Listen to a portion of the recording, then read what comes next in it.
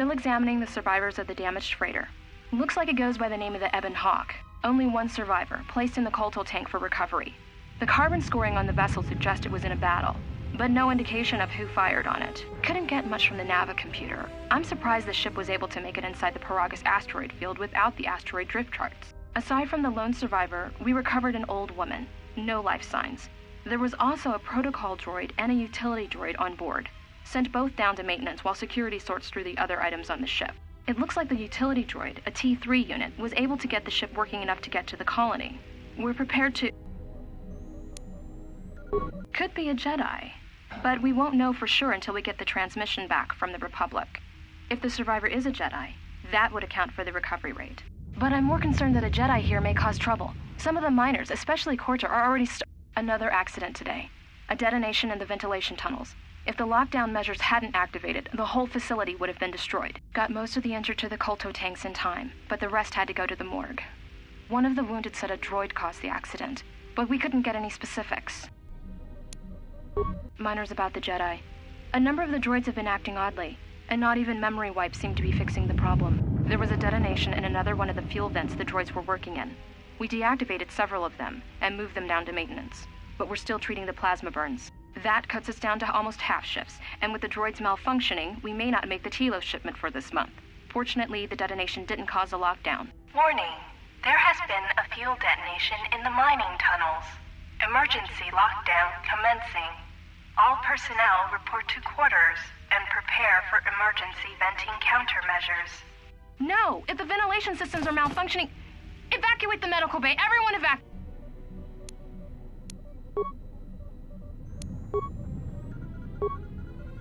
Still examining the survivors of the damaged freighter. Looks like it goes by the name of the Ebon. Only one survivor. Couldn't, aside from, it looks like the.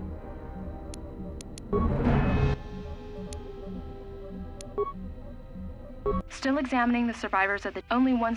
Couldn't get, aside from, it looks like.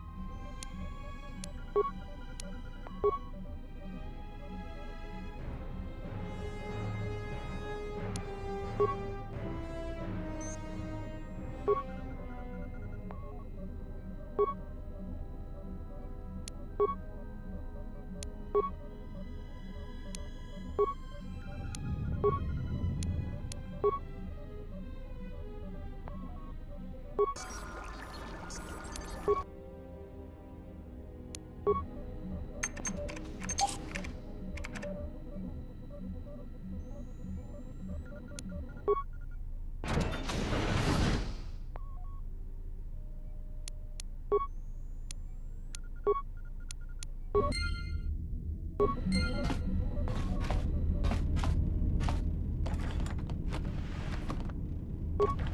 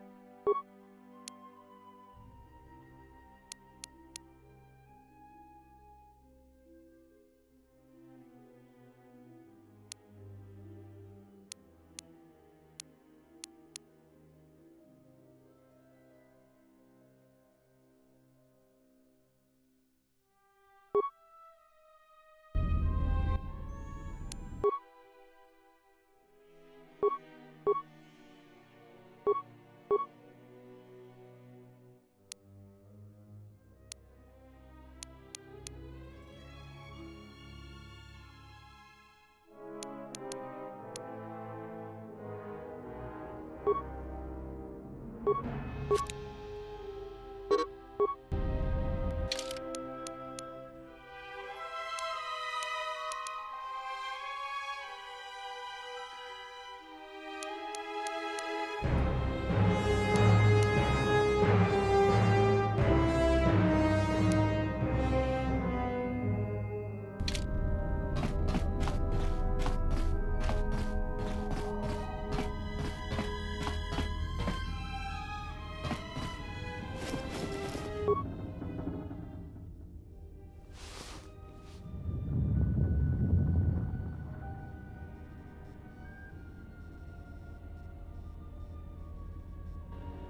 Find what you're looking for amongst the dead? Yes, I had hoped as much. I slept here too long and could not awaken. It may be I reached out unconsciously, and your mind must have been a willing one, or perhaps you have been trained for such things.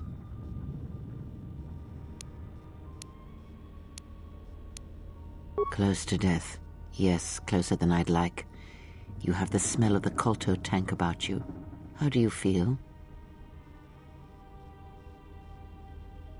I am Kreia, and I am your rescuer, as you are mine. Tell me, do you recall what happened? Your ship was attacked. You were the only survivor, a result of your Jedi training, no doubt.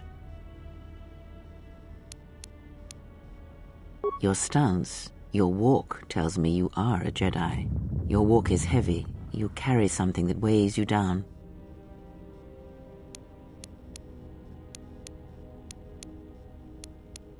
So it would seem. Keep your past and let us focus on the now. I do not know.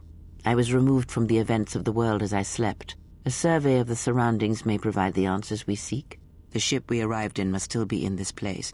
We should recover it and leave. We were attacked once, and I fear our attackers will not give up the hunt so easily. Without transport, weapons, and information, they will find us easy prey indeed.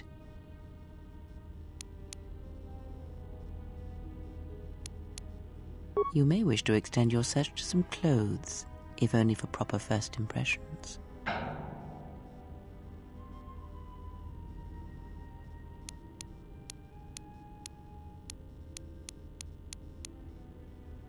I do not know. Why did they spare you?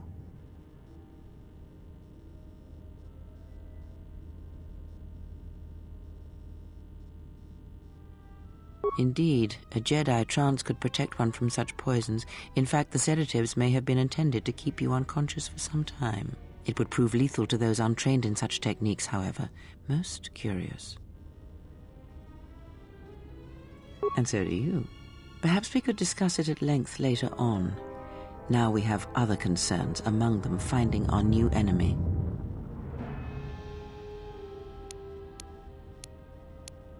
I leave you to the explorations of this place.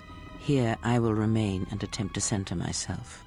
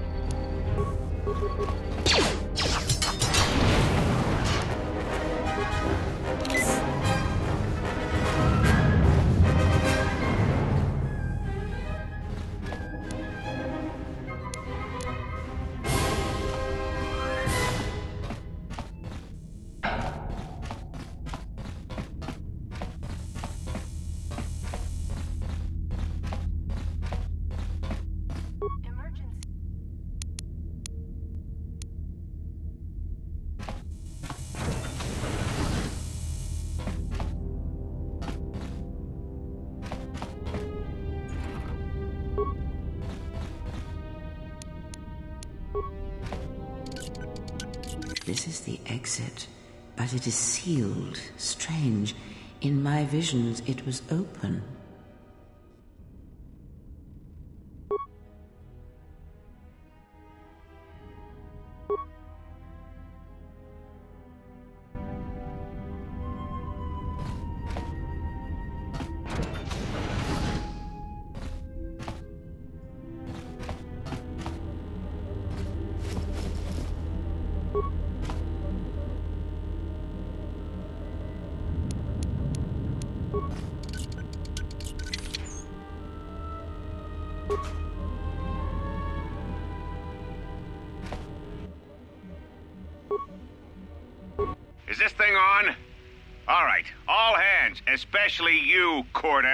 Listen up, because I'm not gonna say this again. The next one of you Juma heads to try and smuggle a blaster, or so help me, any sort of military grade frag weapons into my facility is gonna take a long walk out the airlock. Why? Because in case you forgot, Peragian fuel explodes at high temperatures. That's what blasted that chunk out of Peragus 2 and created this asteroid field. So if I catch any of you with anything other than sonic charges or mining lasers, I'll burn you and your contract. Security out. And according to one of the miners, it was because one of the sonic charges went off prematurely. And like before, it was one set by a mining droid. The three idiots were grouped so close to the charge it might as well have been a grenade going off. The blast turned their bones to dust. The blast wrecked the internal components of the droid that set the charge, though, so we can't even dissect it to see what happened. I don't like what's going on here. Ever since that Jedi showed up, things are getting worse. It's not just Coorta and his miners, or the fights, but now the droids are acting crazy.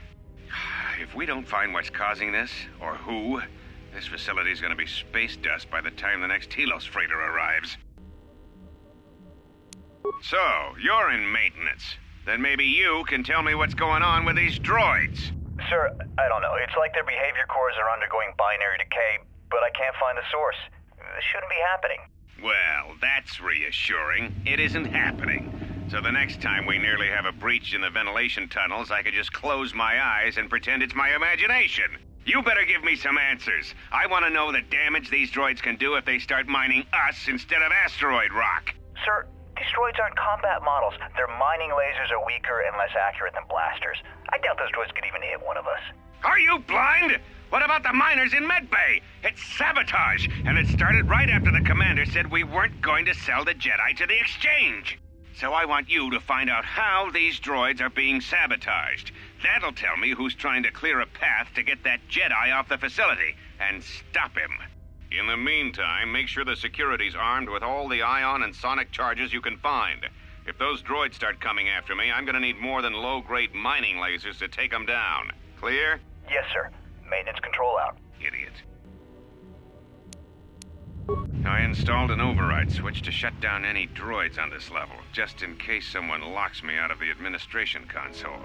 As added insurance, I tied the override switch into the circuit to the holding cell door. It'll make sure it can only be opened if all droids in the level are shut down. I doubt Coorta or any of his men have the skill to pull off something like this, but I'm not taking any chances while we're sitting in the middle of this asteroid minefield.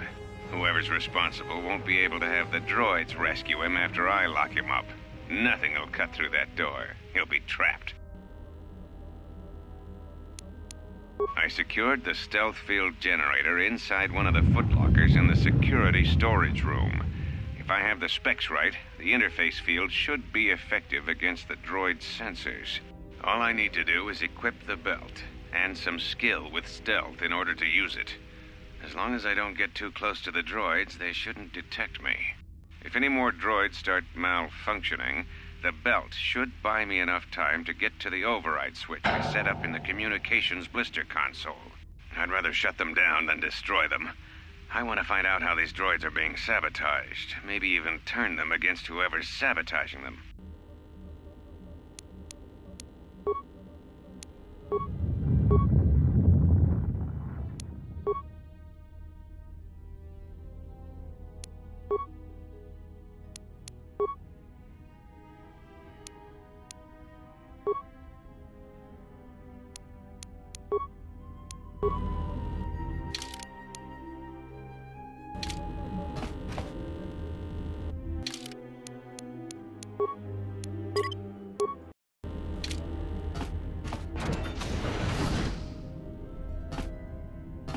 Be careful. There is much energy in the room beyond, yet it stems from nothing that lives. Can you not sense them? Reach out. Cast aside your sight. Cast aside what you see, and instead reach out with your perceptions. Ah, you can feel them. The droids you cannot perceive, but the small oscillations of energy, that you can feel, echoing outwards.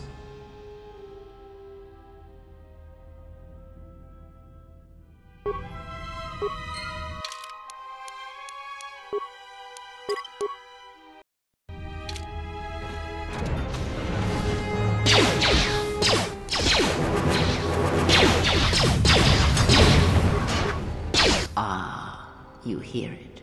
It is faint, but it is there.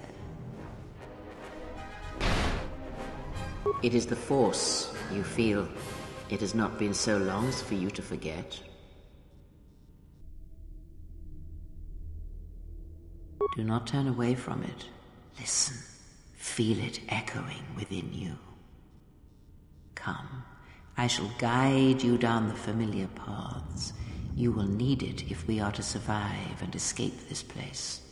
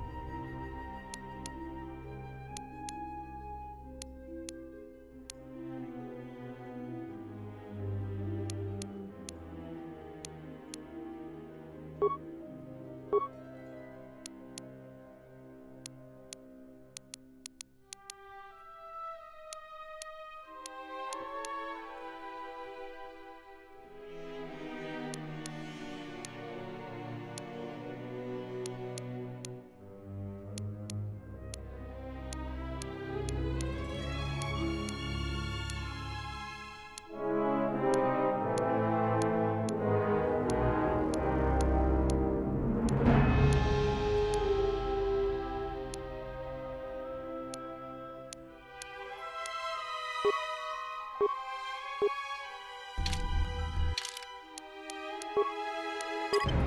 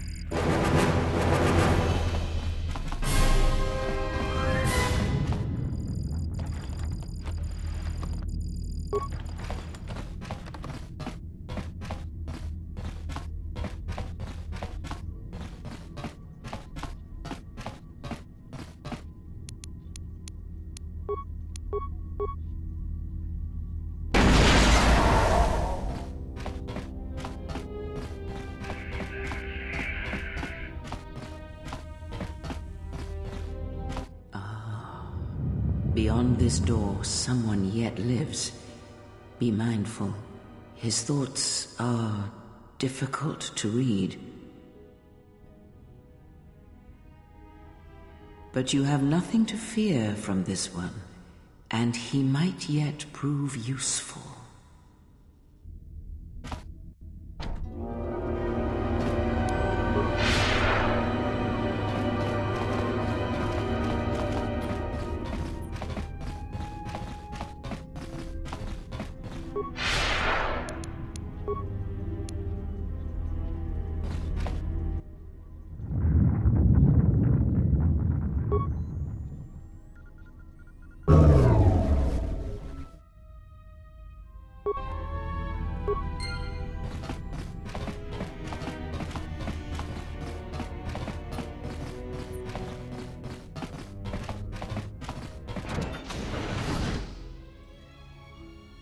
Nice outfit. What, you miners change regulation uniforms while I've been in here?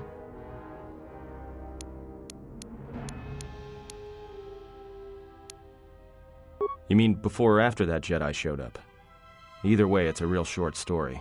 You see, this Jedi shows up, and you know what that means. Where there's one Jedi, the Republic will soon be crawling up your ion engine in no time. But the story gets better. See, some of the miners get it into their ferrocrete skulls that since the Jedi's unconscious, they can collect the bounty the exchange has posted for live Jedi. Well, what passes for the law here didn't like that idea. So the two groups started fighting. Then there was some big explosion. I was sitting here for a long time. Then you showed up in your underwear and things got a lot better. Don't know much about it. Maybe the exchange wants one as a trophy, or somebody's got something against Jedi and is looking to collect. Not many Jedi left. Wouldn't surprise me if the bounty's pretty high. The ones that weren't killed in the Jedi Civil War ended up switching off the lightsabers long ago. Word is there's not even a Jedi Council anymore, but who knows?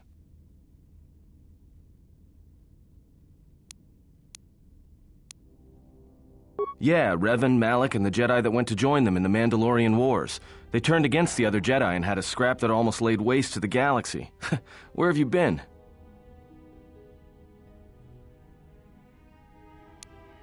Well, I wasn't there, but like all Sith, Revan and Malak turned on each other. After they turned on the Jedi, of course.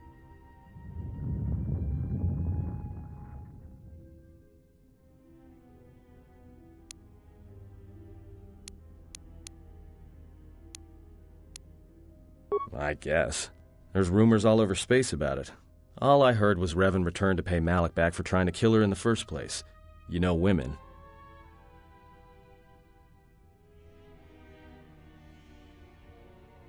Maybe you're right.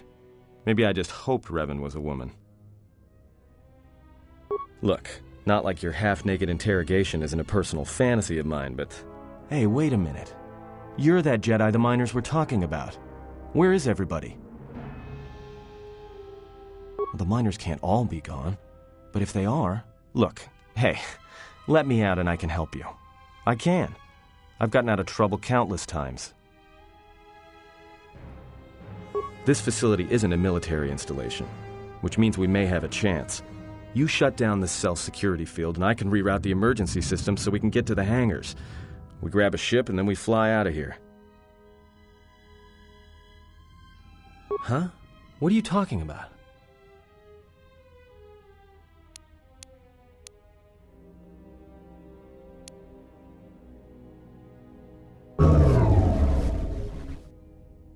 Great. Now to business. Let's get to the command console.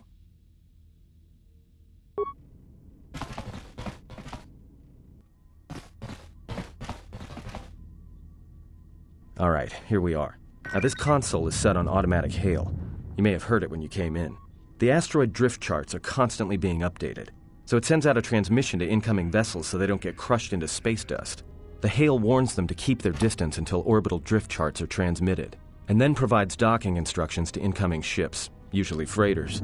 Thing is, you can bounce that same transmission back to the com here, and suddenly you've got access to the communication system from the inside. Pure Pazaak. The console's ours. Now, all we need to do is reactivate the turbo lifts, cancel the emergency lockdown. Hey! This system's been severed from the main hub, after it was locked down from remote. You can't even reroute the system, it's been cut clean. No. Someone tried to lock down this whole level tight and leave us here. Trapped. I doubt it. All we have is communications back. For all the good trying to shout in a vacuum will do us. We could try. But if the miners were trying to trap you up here and probably kill you, why not call them and chat? I don't think a friendly call is going to wake them up.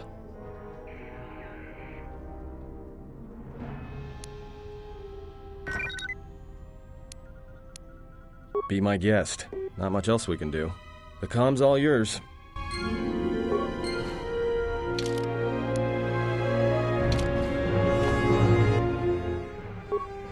Tracked the freighter in. Was lucky it wasn't destroyed when it drifted into the asteroid field. Not much on board. One damaged droid, one annoying protocol droid, and a lot of bodies. Sent the survivor to medical and the others to the morgue. Didn't recognize the ship's ID code, so we transmitted it to the Republic for some answers. Questioned the protocol droid about what happened. Says his master, the survivor, I guess, was on the Republic ship the Harbinger when it suffered an engine failure. He says the survivor was a passenger on the vessel and a Jedi. If so, that's gonna mean true. Inventoried the bodies and cargo. Everything matches the protocol droid's story. The T3 droid had seized up, so we left it in storage and standby mode. Don't know what code will access it. It could be it's voice activated for all we know. We put the protocol droid to work in maintenance, sorting the mining droid comm routines and updating the recognition sensors. And to shut him up. When the survivor recovers, hopefully we can get him off this station before there's a... Trouble between the work shifts. Word of the Jedi leaked out and the miners aren't sure what to do with her. Coorta's mining crew wanted us to collect the creds for the bounty the Exchange has on Jedi, but I put a stop to that. We're contacting Telos to get the Republic records on the Jedi, but nobody will... No word from the Republic. But I've sent out a broadcom transmission for records on this Ebon Hawk. One of the miners said it used to be a smuggling vessel. Accidents are making the miners restless. The droid behavior cores must be undergoing some kind of binary decay. Two miners were drilled by a droid's mining laser, and those blasts in the ventilation tunnels nearly caused the whole facility to blow.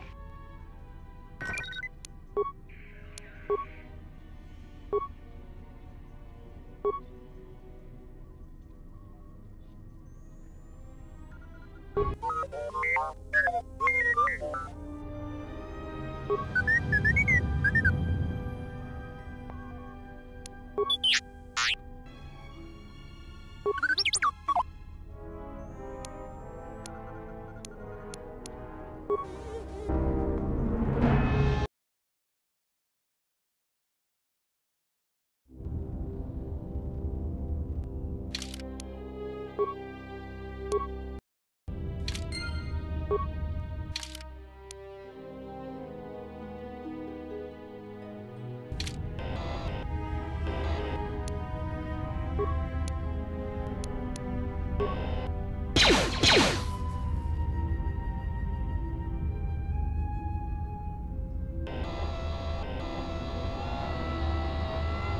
you